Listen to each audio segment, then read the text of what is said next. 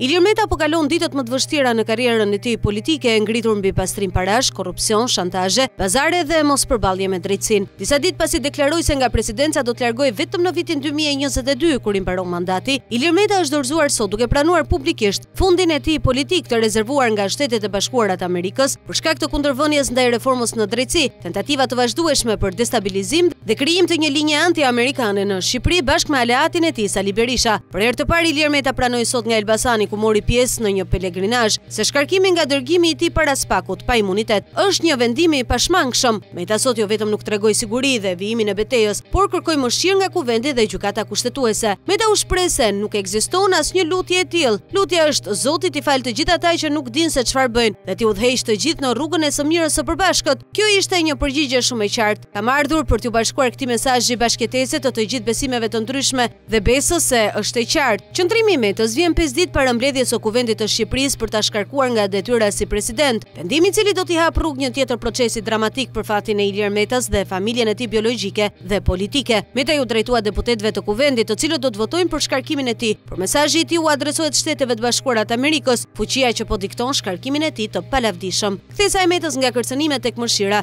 Vjen në kushtet kur duket se tentativat e tij për të blerë disa deputetë për t'i shpëtuar shkarkimit kanë dështuar. Gjithashtu, ky mesazh për mëshirë vjen në kushtet kur Vitore Tusha, që ka votën vendimtare për shkarkimin ose jo të Ilir Metës, është rreshtuar përfundimisht në krah të SHBA-ve. Shkarkimi i Ilir Metës është vetëm hapi i parë. Departamenti Amerikan i Shtetit ka bërë gati njoftimin për shpalljen e Ilir Metës dhe familjes së tij non grata për korrupsion madhor në Shqipëri. Meta referohet në mënyrë të koduar në njoftimin për përfshirjen e Sali Berishës dhe familjes së tij në listën e zezë. Më tej pritet të vihet në lëvizje SPAK për të nisur hetimet për korrupsion, mashtrim me pasurinë dhe pastrim parash, siç ndodhi edhe me Adriatik Llallën.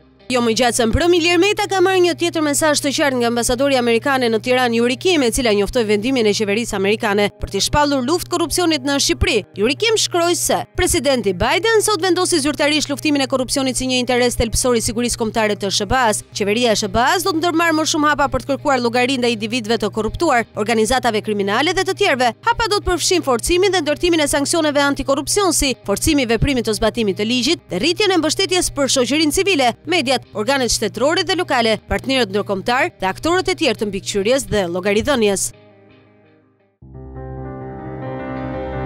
Pamfleti është një platformë mediatike analitike që u lind si domosdoshmëri një tribune pa kompromis, si një zë i fuqishëm në luftën pa ekuivok ndaj krimit dhe korrupsionit politik në Shqipëri.